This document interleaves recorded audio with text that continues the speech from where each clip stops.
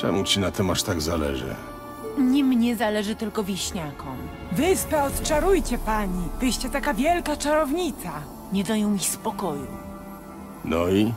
Miałem wrażenie, że niespecjalnie liczysz się z miejscowymi. Taka wielka czarownica? Jeśli nie zdejmę klątwy z wyspy, mogą uznać, że nie aż taka wielka, żeby ryzykować i kryć ją przed łowcami czarownic. Czyli chodzi o to, co chłopi o tobie myślą? Obchodzi cię to? Chodzi o to, że...